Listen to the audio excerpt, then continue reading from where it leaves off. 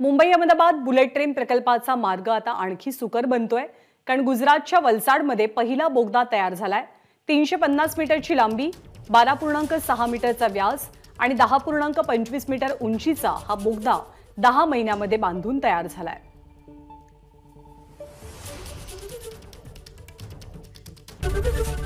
ABP माझा. उघडा डोळे बघा नीट.